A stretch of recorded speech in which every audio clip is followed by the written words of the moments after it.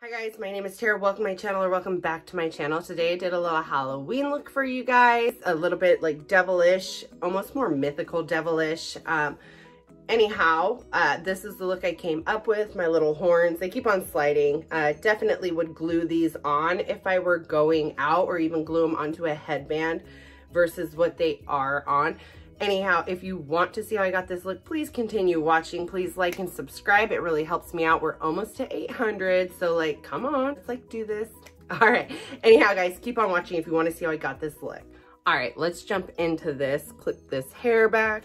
These are the devil horns that I got. My sister's going to be a devil uh, for Halloween and kind of inspired me. Not that she needs my help in coming up with how to do a look because she's phenomenal at makeup, but I was hoping they were small enough to kind of like, that was really annoying, like kind of paste to my head, but I just don't know if I can. I mean, I might be able to if I could get it to stick like just here. They're not super heavy, but I just, I don't know, but like I could also place them right there and look pretty cool. So these are kind of what I'm going off of. Almost like devil, but like mythical devil, maybe we'll fucking see, right? So we're obviously gonna start with some cream products. I have color corrected and then put on a little bit of my Bye Bye Under Eyes Concealer just to kind of give me more of an even canvas to work with because I have a lot of red pigmentation, just skin color, I don't know, it's just jacked. But I purchased this, I think, last year, the year before on Amazon, and it's a nice little palette for of cream products, cream colors for about $11.99. I'll try to find it and put it down below for you guys. So this is what we're working with here. So I'm gonna mix probably, I don't know, probably these two darker reds or maybe even all three. And I'm gonna first do like my eyebrow area so I can get my brows on just to kind of, they help frame the face and then I know where to build my look around. So I have my little mixing palette and I have a little mixing knife. You do not need this. You can honestly use a butter knife and a, and a um, plate, you know, anything really. So this is like a very deep, almost like brown red, very deep. Sorry, I am very much congested. And then this one's a more true to red. And then this one's a little bit more orange. I don't know if I will add that. Maybe, I don't know. Let's mix these two. Mm, I feel like, like that's a good deep red, but I feel like I need a little bit lighter. So maybe I will for around the brow area. So you see the difference there, a little bit lighter.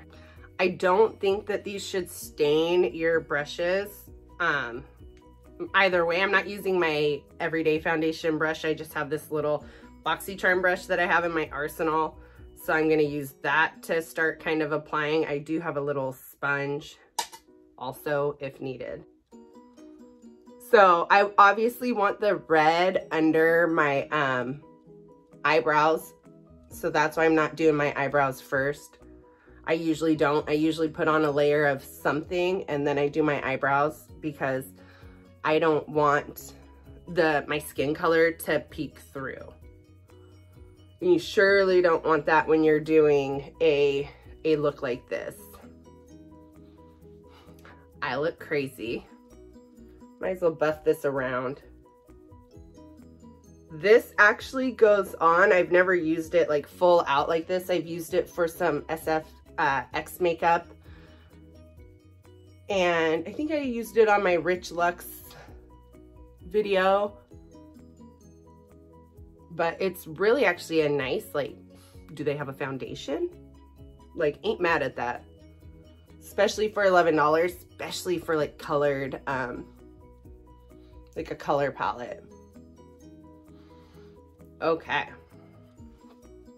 I look so cool. So I'm gonna go in with Dip Brow Pomade in Taupe just to start the look. I normally would like darken the, or sorry, lighten this for my everyday brow, but I want my brow a little bit darker. So I'll probably go in with this and then even go over it with like a black shadow. But this just to start the brow, brow, brow and give some structure. And I think that a straight brow is in order. You can glue down your brows. I, I'm not gonna.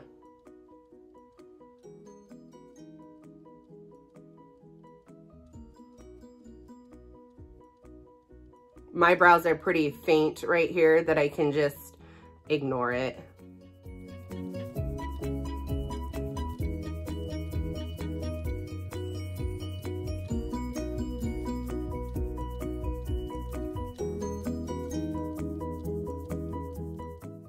I kind of want to do like some longer hairs up front as well.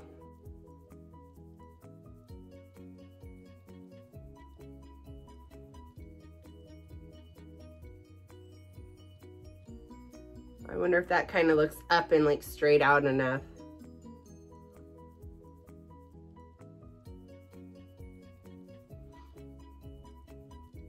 Got chunk on here.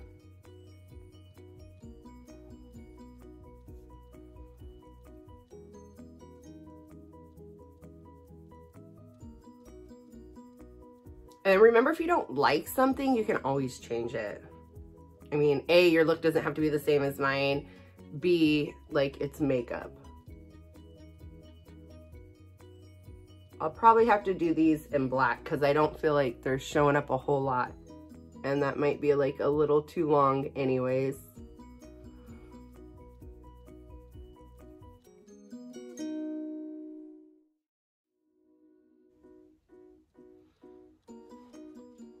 Okay, so there is one brow already. I'm gonna do the other brow real quick, see if I can't match it up. And again, I'm likely gonna go over this and deepen that. Okay, so this is both brows on.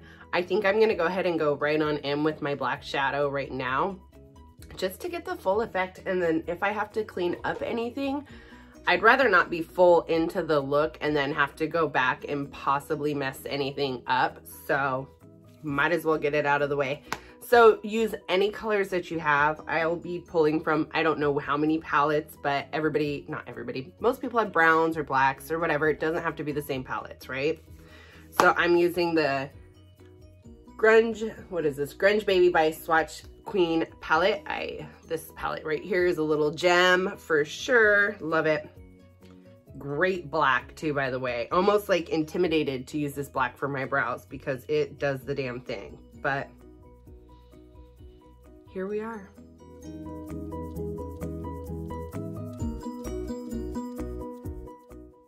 ABH uh, Dip Brow has a lot of, it's very emollient, so it's nice to set it with a powder anyways. That way your brow doesn't move around, kind of set the product a bit.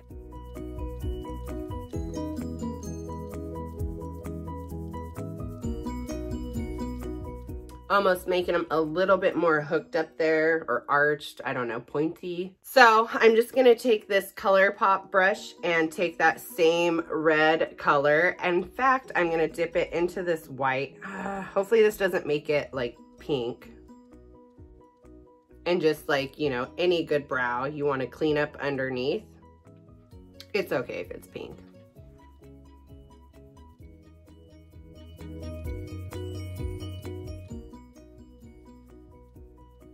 I will say like when you do see like your little hairs, it's hard not to get a little thrown off, but just work past that.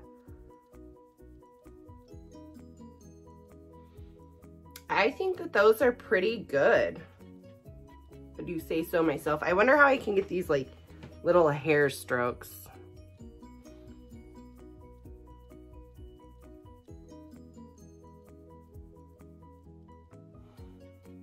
Very faint, just I may cover them up. I may use them. We'll see.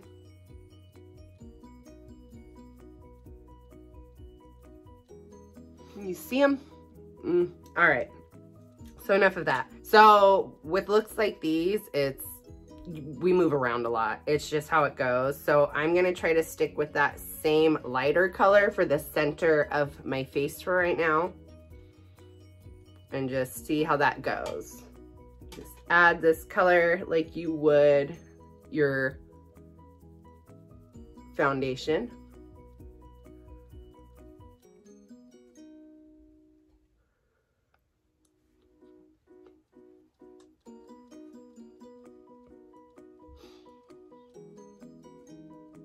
I totally forgot to prime, but it's okay.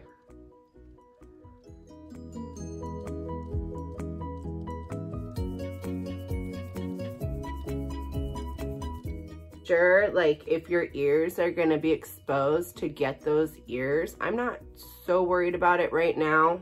Um, because I think my ear won't be, but I'll just add a little I haven't practiced this at all, so it could totally fucking be botched as well. Just, just so you know.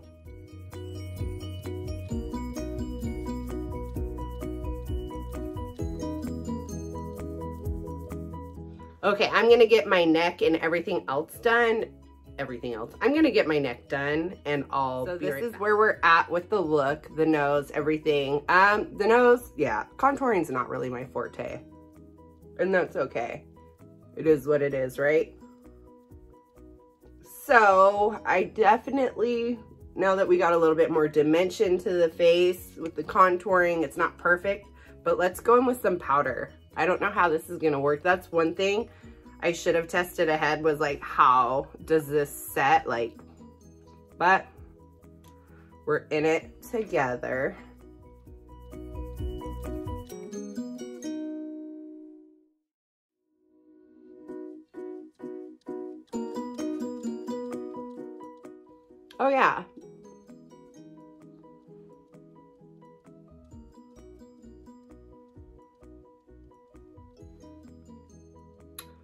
Doing okay. Yeah, definitely mattifying the cream products, which obviously powder would. I just wasn't sure what it would do to the color, I guess.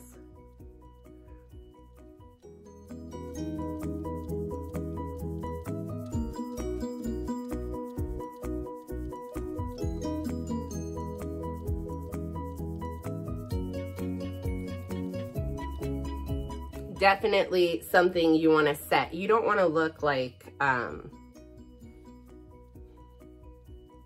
super wet. You want to look kind of matte and not crusty. Like I think I'm even going to put on highlight, but you just, you want to look like,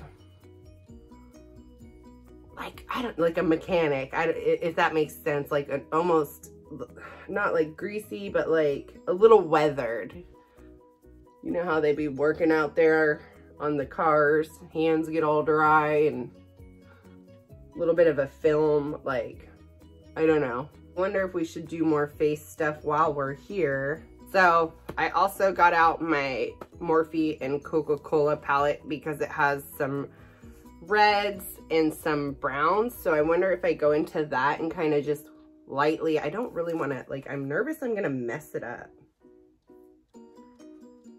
So let's just see. I think that should be fine.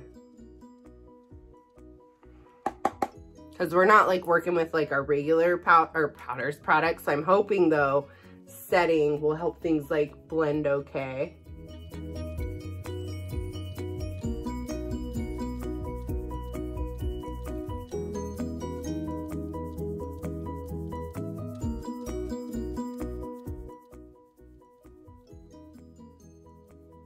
Definitely a little patchy, but could be the brush.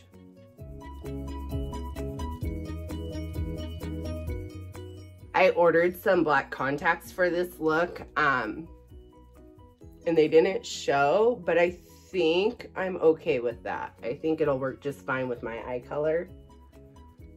Kind of popping out.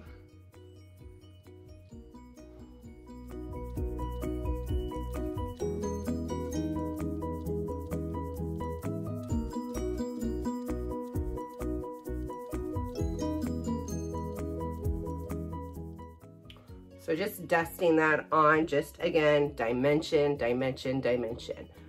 I'm gonna go in with some brown also and deepen it up, but probably a different brush because that one was a little patchy. So I'm gonna use this little tapered brush with, excuse my lisp, with, which one are we gonna go with? That one or that one? This first one right here. Dipping in very lightly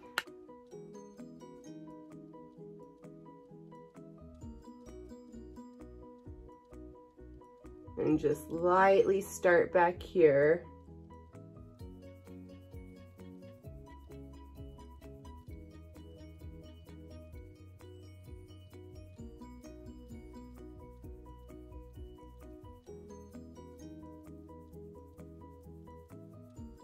I honestly could have just skipped the cream contour. So if you do a look like this, like that was unnecessary. It just kind of got a little muddy. Um, so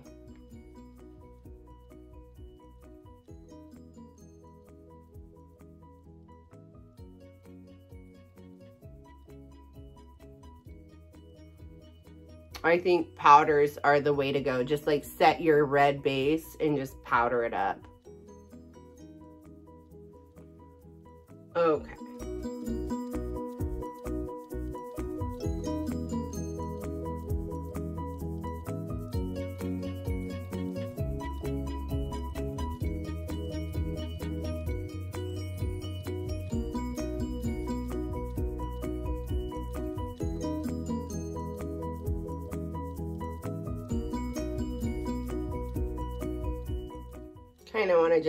Deepen in your forehead. Just, this is like, could be overkill, but I don't think so. Really like make it like nice and dark. So you look like, you know, cause you're gonna have horns up here, right?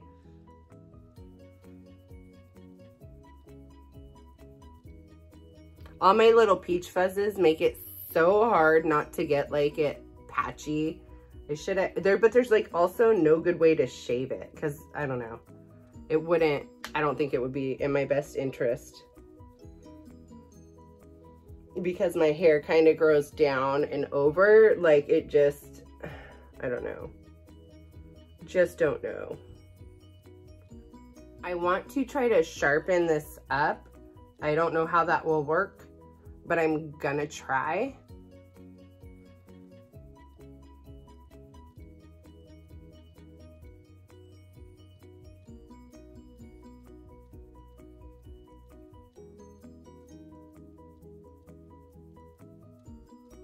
I will say doing that cream, I think made this a little bit more patchier than necessary. But you live, you learn. I don't know that I've ever done like a full like red or any color really face look.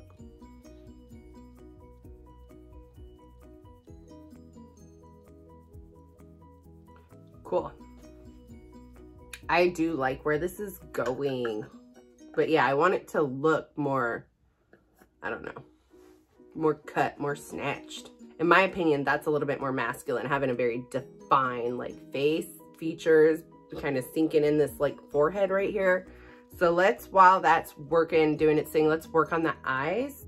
gonna just kind of speed through it because it's mainly just gonna be kind of like a smoky eye, I guess. Taking that same cream contour color because I have some left over, I'm just gonna put this on the lid.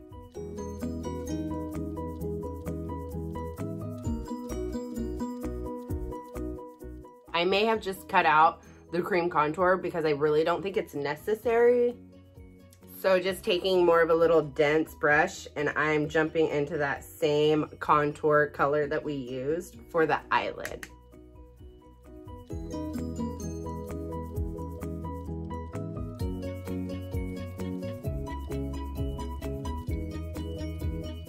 This is gonna be very grungy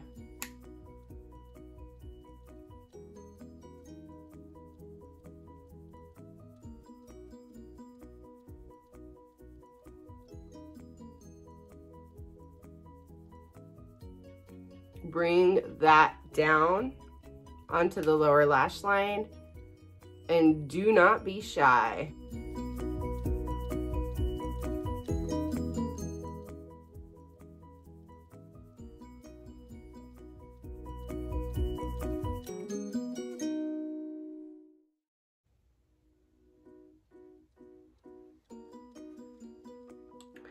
taking another brush and then taking that color right next to it, let's kind of buff that up and out. I feel like it has a little red undertone, like a cherry cola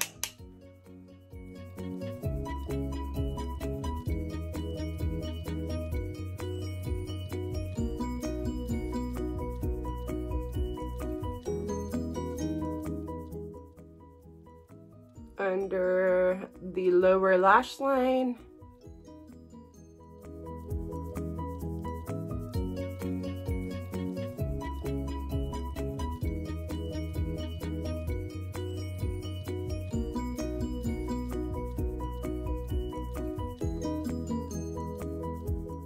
So these are the eyes so far. So I busted out this e.l.f. Cosmetics Shimmer Highlight Powder because I kind of do want to highlight just because just, I don't know, again, a little bit masculine, but a little bit like, you know, little, because she cute. We're to do some lashes.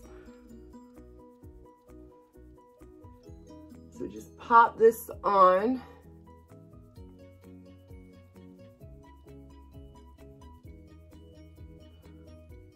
really kind of just putting that on there.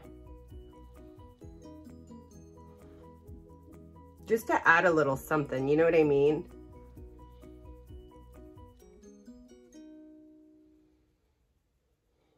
Really quite a pretty color.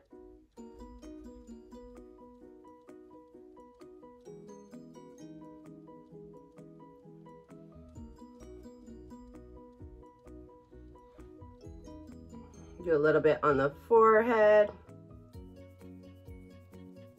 Kind of covering up those little hairs that I drew, but that's okay. I can draw them back in. And then we are gonna do, should I do the nose or is the nose too much? Well, I can always go over it.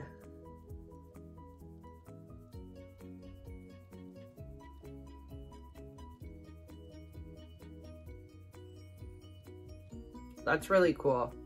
I wonder if I should tap some on this corner.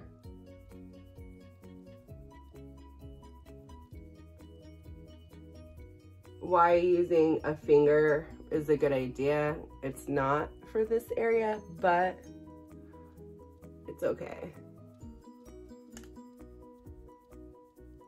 All right, so I wonder, how can I get this? Didn't think about that. I'm gonna take this brush and kind of clean off this bake just to see what happened. Oh yeah, I'm okay with that. Really sharpen that up. Perfect. Okay, so I think I am gonna pop on some eyeliner. Why not? Using this Master Precise Maybelline eyeliner.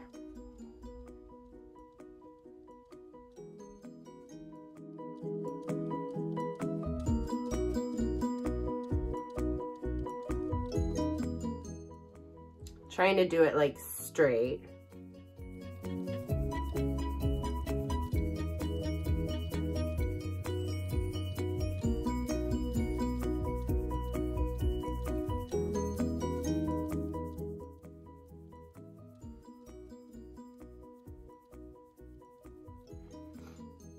Okay, I'm gonna do the other, can you see that? I'm gonna do the other eye real quick. all this has made like my lips a funny color. Like low key, like my lip color, but now it just looks weird. I don't know, whatever.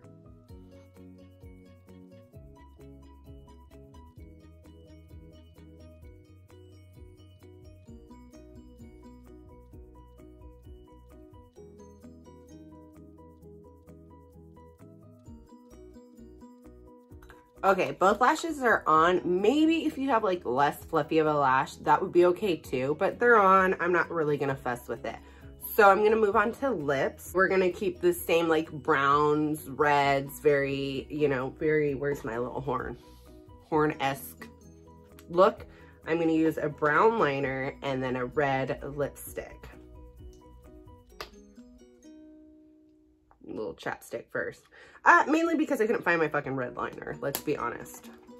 So this is Auburn from um, Mud Makeup.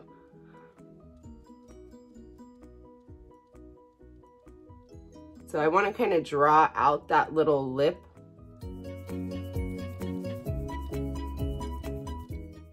This side of my lip has a scar and it's just different. So it's so hard to get things like even this side worked out well.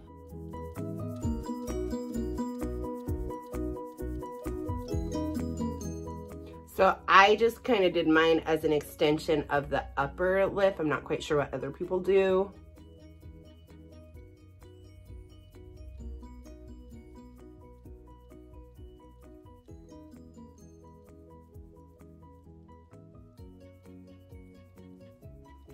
Probably just blocked you. My bad. So just kind of deepening around the upper lip.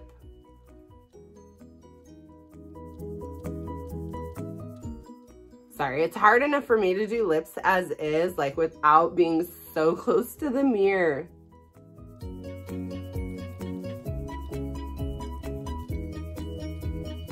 Just use any red lipstick you have like I'm doing, and we're just gonna center this.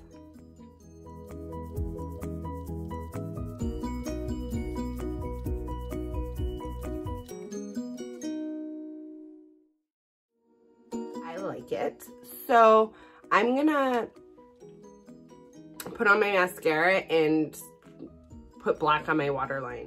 This is the completed look. I just need to get my horns on and then my black shirt um, and maybe do something a little different with my hair, which unfortunately I don't have the stuff like here to show y'all how to get that done, but I can explain it after. So,